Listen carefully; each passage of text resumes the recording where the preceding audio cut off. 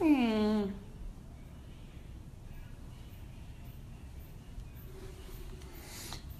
Gente, eu sou o Picasso e ele é o Romero Brito. Obviamente, melhor é o. Eu sou o Romero Brito. É, melhor é o Picasso, né?